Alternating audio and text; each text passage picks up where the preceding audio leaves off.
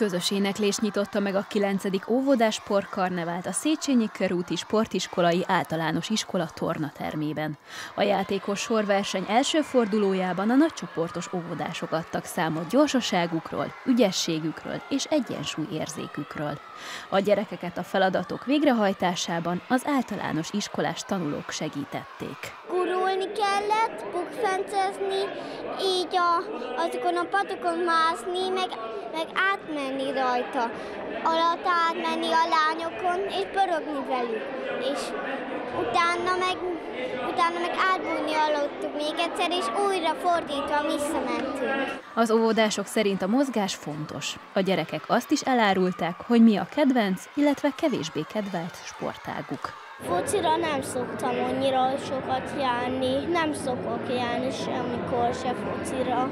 Mi a kedvenc sportod, akkor áruld el? A vívás. Szoktál vívni? Igen.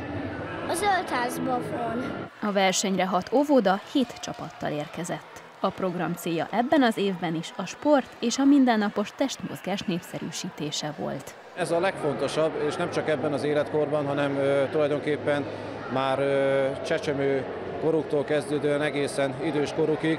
Én csak buzdítani tudok mindenkit, hogy ö, mozogjon, mert ö, a testi egészségünk az kiad a lelki egészségünkre, és ez fordítva is igaz. A sportkarnevára jelentkezők száma évről évre nő. A program által a gyerekek nem csak a sportolást kedvelik meg, hanem megtanulhatják egymást támogatni és csapatban dolgozni.